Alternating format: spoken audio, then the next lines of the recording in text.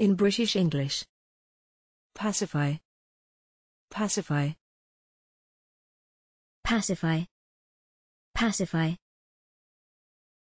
Pacify. Pacify. Examples in phrases and sentences. He had to pacify angry spectators.